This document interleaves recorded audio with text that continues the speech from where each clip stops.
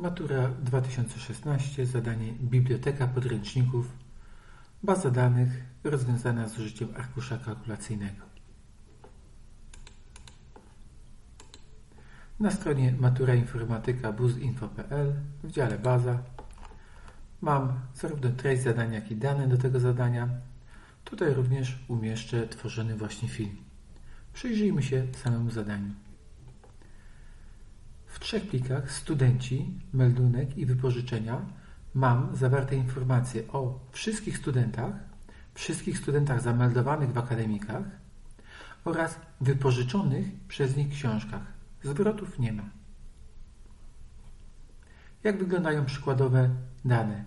Plik studenci TXT PESEL, nazwisko, imię, meldunek, PESEL, numer pokoju, w którym jest zameldowany student oraz wypożyczenia, numer wypożyczenia, PESEL studenta wypożyczającego oraz wypożyczony tytuł. Zaimportujmy te tabele. Ctrl A, Ctrl C, upewnijmy się ile jest wierszy 331. Przejdźmy do arkusza, Ctrl V. Upewnijmy się, że mamy tyle kolumn, ile trzeba. Rzeczywiście separator został poprawnie rozpoznany jako tabulator. Tu mam jeszcze dodatkowo średnik włączony, być może niepotrzebnie, więc tutaj możemy to korygować. Możemy też wymusić inne zinterpretowanie e, danych, nie jako liczba, tylko na przykład jako tekst. Ale to jest wszystko w porządku. E, jeszcze się zastanówmy nad PESEL-em.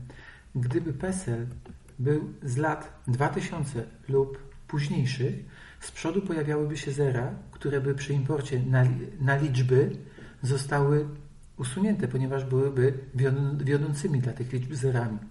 Musielibyśmy wówczas taki PESEL zaimportować koniecznie jako tekst, żeby nie stracić informacji. No ale tu jest wszystko ok. To jest tabela studenci. Nazwijmy arkusz w taki sposób. Studenci. E, I zmieńmy może cały obszar, żebyśmy mogli się do niego szybciutko odwołać. Zmieńmy jego nazwę na 100. Podobnie postępujemy z dwoma kolejnymi. Nowa zakładka. Ctrl A, Ctrl C. 326. Dwie kolumny w porządku. Co do PESEL-u, tak jak powiedziałem, zaimportowany jako liczba, co widać, ponieważ jest przesunięty do prawej strony. Zmień nazwę arkusza na pokoje, czy meldunek może. Meldunek. Cały obszar zaznaczmy jako mel.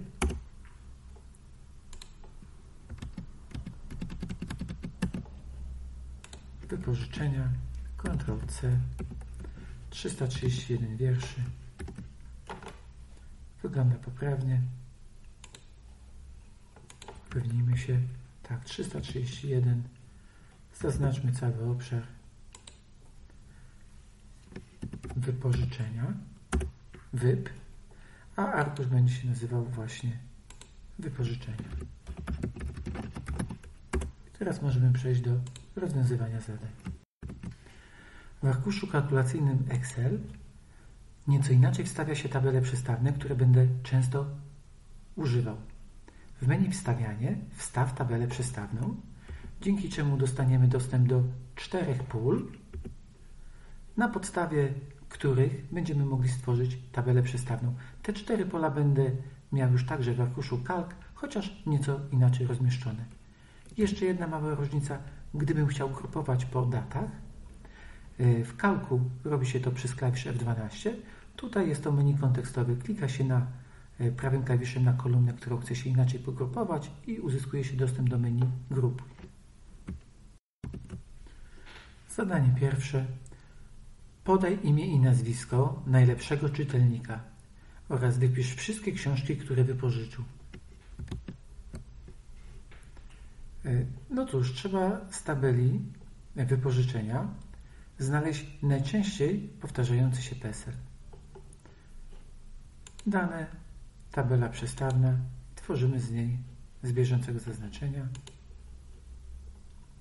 Pogrupujmy po PESEL-u, ponieważ wszystkie pola są wypełnione, nie ma znaczenia, które pole będziemy zliczać. Możemy zliczać e, PESEL, możemy zliczać liczbę porządkową. Wszystkie są wypełnione. Oczywiście nie suma, tylko zlicz.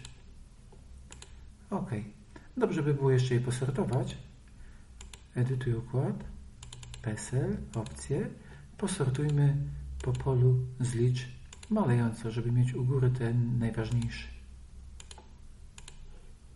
I mamy taki PESEL. Skopiujmy go sobie na wszelki wypadek. Należy teraz znaleźć w tej samej tabeli wypożyczenia wszystkie tytuły, które są powiązane z tym PESEL-em. To jeszcze raz. Dane, tabela przestawna, utwórz. Y, po PESEL-u może najpierw, a potem po tytułach. Nic nie musimy zliczać, po prostu zróbmy taką tabelę przestawną. Tutaj to, co zliczaliśmy jest puste, ale przefiltrujemy sobie teraz PESEL. Wklejam ze słowka to, co wyszukałem. OK. I widzimy cztery tytuły, które są poprawnymi odpowiedziami dla tej osoby. Pytanie jeszcze jest, jakie jest imię i nazwisko tejże osoby. Możemy to samo zrobić z tabelą y, studenci. Y, tu posłużę się jednak może inną techniką. Po pierwsze, można jego PESEL Ctrl F po prostu wyszukać, ponieważ jest wpisany bezpośrednio jako komórka. Widzimy, że to jest Krzysztof Lewandowski, poprawnie. Możemy też bez tworzenia, skoczmy sobie teraz do góry, bez tworzenia e, dodatkowej e, tabeli przestawnej posłużyć się funkcją wyszukaj pionowo. Równa się wyszukaj pionowo. Czego będziemy szukać? Kryterium wyszukania. No, tego PESEL-a, który już rozpoznaliśmy. W jakim obszarze będziemy e, szukać? Tabeli studenci. Zamiast zaznaczać ten obszar, napiszę po prostu stół, tak go przecież nazwaliśmy. Jeżeli znajdziemy nasz PESEL, co mamy podać? Nazwisko, czyli drugą kolumnę. Wyszukanie dokładne, czyli parametr 0. Gdybym szukał po przedziałach, co się nieczęsto zdarza, to byłby tu parametr 1. Lewandowski. W porządku. Ctrl-C, Ctrl-V. I teraz jeszcze podajemy sobie trzecią kolumnę. Krzysztof. Y, znaleziony PESEL i trzecia kolumna w tej tabeli, czyli imię. Koniec zadania pierwszego. Zadanie drugie. Podaj średnią liczbę osób zameldowanych w jednym pokoju z dokładnością do czwartego miejsca po przecinku. Musimy uzyskać taki wynik. Skupimy się na tabeli meldunek. Oczywiście dane, tabela przestawna. Pogrupujmy po numerze pokoju, zliczając ile razy się powtórzył numer pokoju. Wszystko jedno znowu, co będziemy zliczać, ponieważ wszystkie pola są wypełnione. Ale dla formalności możemy zliczać studentów, którzy tam są. Oczywiście zliczać, a nie sumować. OK. E, od wiersza drugiego do wiersza 70 to są numery pokojów, zatem e, jest ich 69. E, a ilu jest studentów? No tutaj jest w każdym pokoju wymienione, tutaj jest podsumowanie 325 studentów, czyli równa się 325 podzielić na 69. To jest ta liczba. Zakręgmy ją jeszcze do czwartego miejsca po przecinku. O, to jest trochę za dużo jeszcze czwarte miejsce po przecinku. I to jest to, co mieliśmy uzyskać. A gdyby ktoś chciał formalnie uzyskać 69 na podstawie wyliczeń, a nie tylko na podstawie odejmowania, e, odejmowania numerów wierszy, no bardzo proszę, e, skoczmy sobie tutaj jedynka, jedynka, jedynka, dwójka, przekopiujmy to do dołu, skoczmy na dół, no, przesadziłem. Oczywiście ten wiersz nie liczymy, to już jest podsumowanie. 69. Zadanie trzecie. Policz, ile wśród studentów jest kobiet, a ilu mężczyzn. Można wykorzystać informację, że przedostatnia cyfra PESEL-u, jeżeli jest parzysta, to jest to kobieta. Jeżeli jest nieparzysta, jest to mężczyzna. 138 kobiet, 192 mężczyzn. No dobrze, jak się dostać do tej przedostatniej cyfry, czyli tutaj w tym wypadku do piątki? Można użyć funkcji tekstowych, jak najbardziej. Równa się prawy e, z tej komórki i weźmy dwie prawe. Już mamy 57 tylko, ale jako tekst. To nic. Stąd musimy wziąć lewy, oczywiście pierwszy po lewej, pierwszy po lewej i mamy piątkę, co prawda jako tekst. Będzie ona jednak przekonwertowana automatycznie na liczbę, jeżeli w kontekście liczby ją y, użyjemy, więc musimy co? E, sprawdzić, czy jest to liczba parzysta, albo podzielić modulo 2. Modulo to, co uzyskamy, modulo 2. I sprawdźmy, czy uzyskamy poprawne wyniki. Tak jest. Piątka, nieparzystość. Tutaj parzystość. Y, czy można to zrobić matematycznie? Oczywiście, jak najbardziej. Tutaj pozwoliłem sobie to przygotować wcześniej. Co robimy? Najpierw wybieramy dwie ostatnie, y, tak jak zrobiliśmy tutaj prawy 2, tak tu robimy modulo 100. Modulo 100 wyciągnie nam 57 z tej liczby. Natomiast jeżeli potem zrobimy część całkowita z dzielenia przez 10, odrzucimy z tego 57 siódemkę. Tak, 57 podzielić na 10, część całkowita to jest oczywiście 5 i uzyskamy to samo. Teraz wystarczy, no może to nie edytujmy, teraz wystarczy policzyć ile jest jedynek i to są mężczyźni. Czyli podsumujmy może. Suma z tego obszaru 192 mężczyzn, co się zgadza. Ponieważ jest 330 y, wszystkich, no to równa się 300, 330 minus ta komórka 138 kobiet. Zadanie czwarte.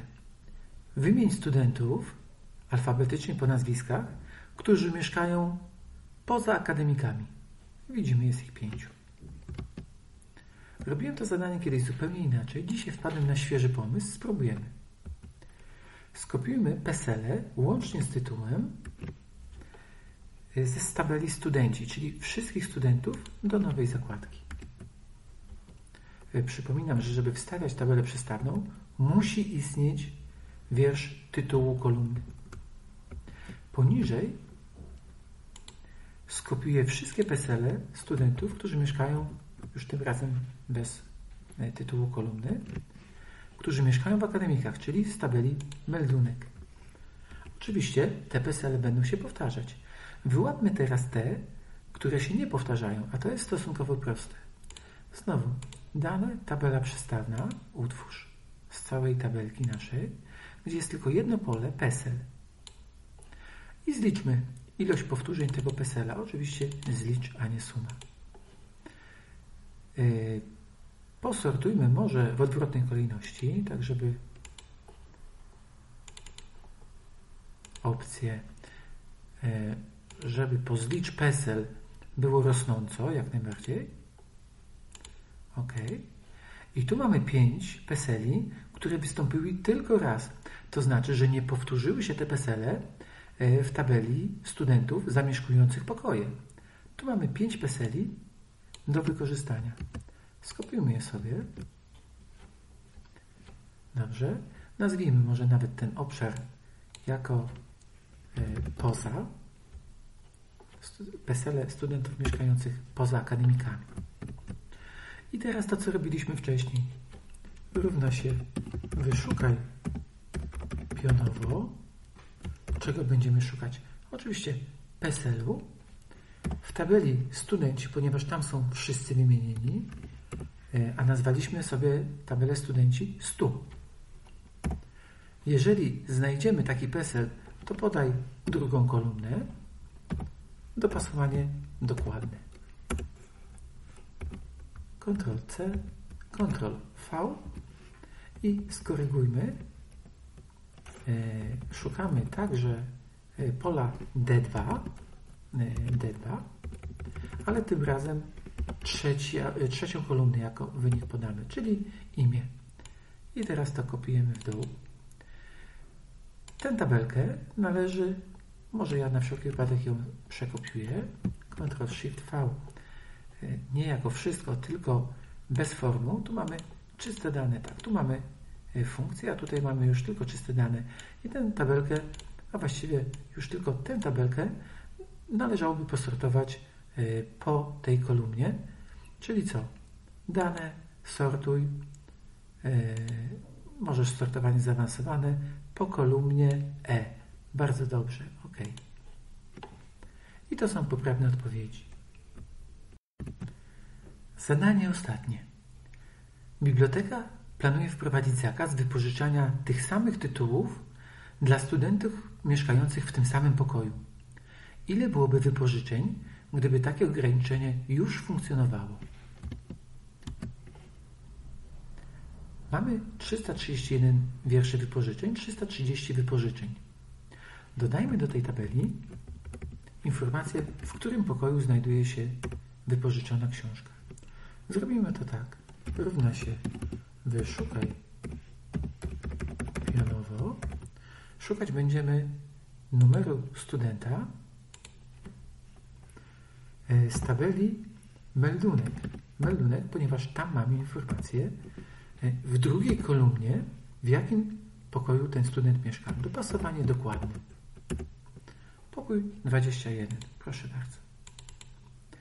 I tu mamy informację, w którym pokoju znajduje się ten właśnie tytuł. Zauważmy też, o tutaj, że są pola nieokreślone. To znaczy, że tytuł powędrował do studentów spoza miasteczka akademickiego. Tych jednak nie będziemy zliczać. Stwórzmy z tego nową tabelę. Oczywiście tabela przestawna. Pogrupujmy to tym razem po tytułach. Jeżeli tytuł się będzie powtarzał, w tym samym pokoju na dodatek, czyli po numerze pokoju też będziemy grupować, to będziemy coś zliczać. Nie będziemy zliczać na pewno numeru pokoju, bo tutaj są dziury. Już zauważyliśmy, że e, pojawiają się pola nie dotyczy. Zliczmy może po prostu PESEL. Zlicz. OK. I tutaj mamy po jednej książce algebra w tych pokojach. Tu jednak widzimy, że algorytmy w pokoju 34 występują dwukrotnie. To znaczy, że jeden jest nadmiarowo. Zróbmy to może tak. Tu nie trzeba nic zabierać, a zatem równa się to pole minus 1. Skopiujmy to w dół. Tu, gdzie są dwa wypożyczenia, musimy jedną książkę zabrać. I słusznie. Skoczmy zatem na koniec tabeli. To jest podsumowanie, więc je usuńmy. I zliczmy, ile książek musimy stąd zabrać. Tu nawet cztery książki musimy zabrać, bo jest pięć egzemplarzy tego samego tytułu w jednym pokoju. A zatem podsumujmy tę kolumnę. Zabrać należy 14 książek. Z ilu? Z 330 wypożyczonych. No to bardzo prosta sprawa.